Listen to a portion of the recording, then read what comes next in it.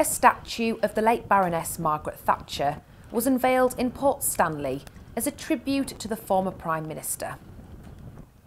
The bust was officially unveiled by Margaret Thatcher's son, who was honoured to have travelled from the UK to pay homage to his family name in the Falklands. Um, I rather like that. um, it is indeed, and it's the first time I've seen a department photo. And I particularly note and like the fact that um, the sculptor has included uh, the Union Jack on my mother's lapel. I think that's entirely fitting. It gets an important message across. Um, this is my first time to Falkland Islands, and I'm extremely, extremely fortunate and greatly honoured to be here uh, to unveil this bust of my mother, uh, who I know would be equally honoured and very humble that you, the Falkland Islanders, have bestowed upon her such an honour. To many residents here in the Falklands, Margaret Thatcher is considered a hero. A hero for her steely and steadfast approach across the 1982 conflict and for recapturing the islands for Britain. Had it not been for the bravery and determination of your mother in standing up to the naked aggression when Argentina invaded, we would not be the country we are now. The bust itself sits neatly next to Thatcher Drive and adjacent to the 1982 memorial, a place only too fitting for the late Baroness. It's certainly where we would would like her to be uh, as, as Falkland Islands because it's, it's, what she is associated associated with. I mean, to the Falklands, Margaret Thatcher was our Winston Churchill.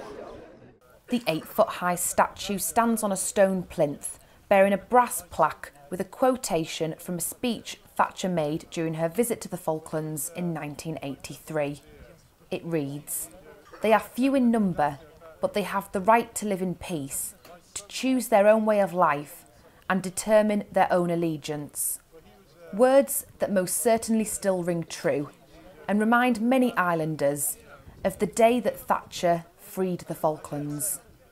It takes me straight back to um, the 3rd of April, the day afterwards when Parliament was recalled in, uh, in London and we were all sitting here in the Falklands just totally devastated and overwhelmed and shocked by what had happened the day before and not knowing what was going to happen to us, what our future was going to be. Uh, and when she stood up in Parliament and announced that a task force was being assembled and the first ships would be sailing uh, within, within a couple of days or so, um, that, from that day onwards, I think none of us here in the Falklands had any doubt as to what the outcome was going to be. We just knew that our freedom was going to be restored to us. We didn't know how or when, but we just knew it, it was going to, it, you know, everything was going to be okay in, in, in the end. The creator behind the artistry is local sculptor and taxidermist Steve Massam, who accepted the challenge almost 18 months ago. And now, here it is.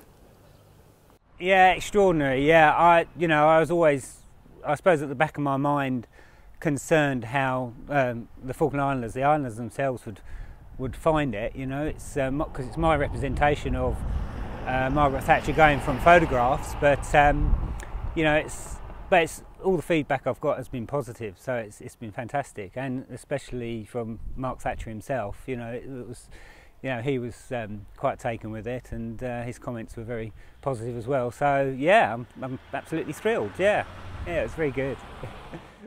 January 10th will now forever be known as Margaret Thatcher Day, where for years to come, Islanders will continue to celebrate the day when 32 years ago from now, Lady Thatcher first visited the Falklands. A day where she will always be remembered. This is Sophie Dulson, reporting for FITV News.